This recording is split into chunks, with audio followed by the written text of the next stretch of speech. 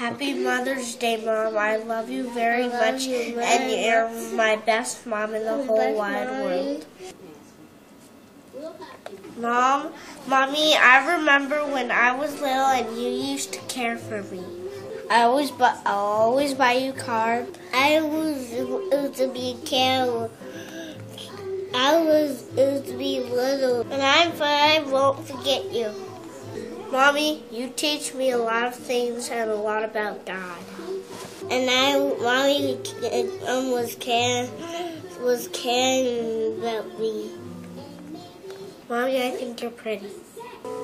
What's the best thing you love about mommy? Um,